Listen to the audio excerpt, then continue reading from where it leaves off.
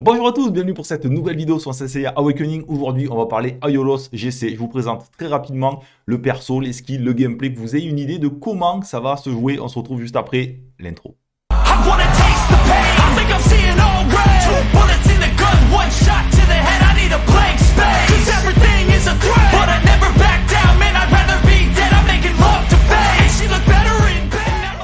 Commencer déjà en simultané, j'ai mis à jour la fiche, j'ai mis en ligne la fiche de perso de Aiolos GC sur le site c.com, vous pouvez donc le retrouver avec tous les détails. Là le but ça va être de montrer les skills mais on va passer dessus assez rapidement avec des phases de gameplay, que vous ayez une image en fait de comment euh, ça se joue le skill. Concrètement on va commencer avec le skill 1.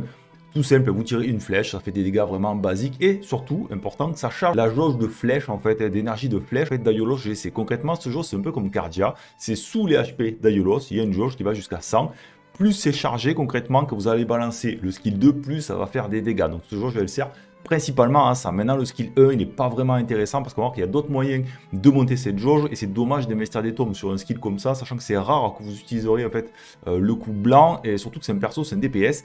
Ça va déjà coûter relativement cher, donc je dirais le, le skill 1, pardon, il n'est pas à prioriser. Ensuite, on a le skill 2, le skill emblématique d'Aiolos. Il va décocher une flèche de l'espace qui va faire très très mal. Concrètement, ça vous coûte 3 ça vous coûte cher, ça peut diminuer, on va le voir après. Par contre, ça pompe toute votre énergie, donc plus vous avez d'énergie stockée, plus ça va rajouter des dégâts. au début, c'est 3% pour un point. C'est-à-dire que si votre jauge est à 100%, vous aurez plus 300%. Donc vous faites 500% de base, plus les 300%, ça fait du 800%, ça commence à faire quand même mal.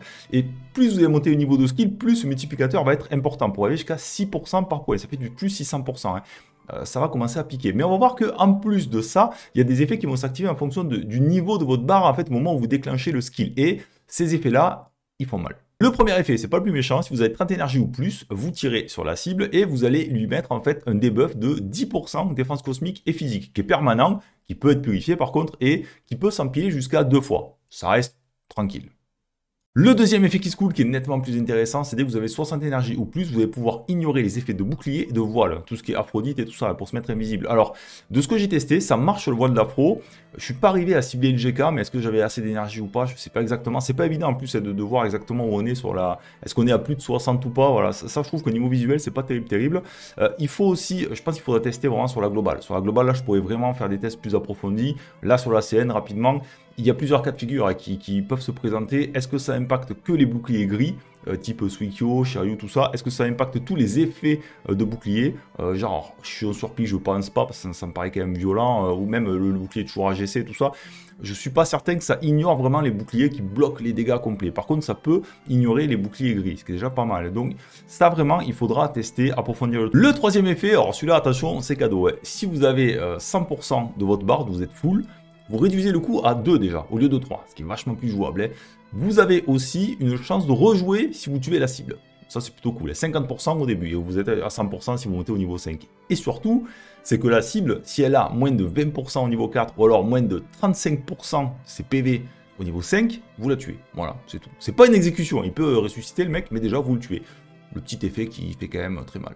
Le truc avec ce skill, c'est que pour débloquer l'effet de voile, c'est être au moins niveau 2, ça, ça va. Mais par contre, un peu pour débloquer le coup en moins, euh, la chance de rejouer et tout, c'est minimum niveau 4. Donc ça, c'est un, skill, je dirais, voilà, c'est un DPS, faut le monter niveau 4 minimum pour commencer à être jouable, voire niveau 5, c'est encore mieux pour être sûr d'avoir l'action bonus si on tue quelqu'un et surtout 35% pour pouvoir euh, abattre une cible, c'est quand même énorme. Le troisième skill, c'est un skill actif qui vous coûte 1, vous le lancez, ça va aller buffer un allié, mais c'est pas vous qui choisissez. En fait, ça prend l'allié avec l'attaque la plus élevée. Moi, de ce que j'ai testé, en tout cas, c'est ce qui s'est passé à chaque fois, ça partait sur un allié précis de type physique.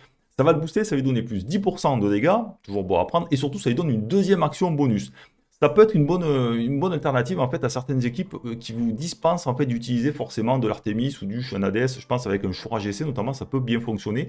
Donc ce truc-là est plutôt pas mal parce que boost de dégâts et en plus ben, deuxième action. Autre chose d'important en fait avec ce skill, c'est que quand vous le montez au minimum niveau 3, en fait, à partir du niveau 3, il y a un effet de gain d'énergie pour les flèches d'Aiolos là qui se débloque quand l'allié va agir. Donc en fait, il va taper sur sa première attaque, paf, ça va donner un passif en fait déjà d'énergie à Aiolos en fait, et en fonction du nombre de cibles que l'allié a touché, ça va encore booster cette énergie là. Mais ça marche sur les deux attaques. J'ai testé en fait, ça marche sur la première et ça marche sur la deuxième. Donc ça c'est un super moyen en fait pour booster votre Aiolos. Donc généralement vous allez arriver, pop tour 1, vous lancez votre boost et c'est au tour 2, vous aurez l'énergie bien pleine puis ça va partir, ça va faire très mal. Le skill 4, c'est un passif. Concrètement, ça va donner une chance d'immunité au contrôle à Iolos. Alors au début, c'est une chance, après, c'est une certitude. Mais vous voyez au début, euh, il a en fait euh, des flèches qui tournent autour de lui.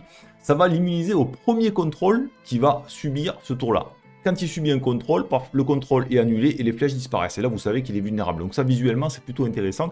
Le truc important de ce skill-là, c'est que quand il y a une bénédiction qui est active, quand vous avez béni un allié, il a aussi cette immunité au contrôle. Et ça, c'est quand même énorme parce que le fait d'avoir en fait un DPS qui est immunisé au premier contrôle du tour, euh, c'est violent parce qu'on ne joue pas 10 000 contrôles dans la partie en général.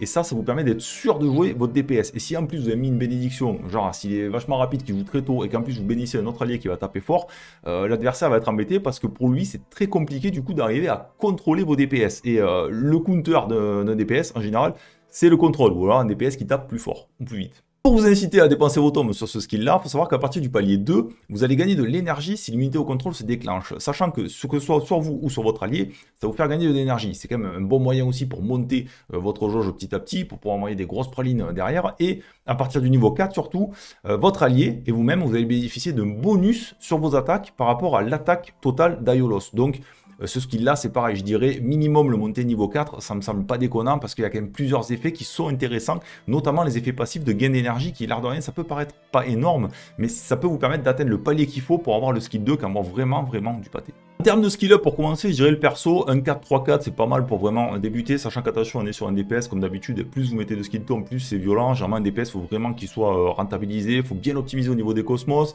Jouer vitesse ou pas, à voir, c'est sûr. Plus vous l'accélérez, plus ça vous permettra de faire des trucs, notamment avec son, euh, son buff aussi, hein, qui permet d'immuniser notre contrôle euh, aux dégâts et tout ça. Par contre, forcément, vous taperez moins fort, ou alors vous le laissez plus lent, mais par contre, il envoie des pralines de l'espace.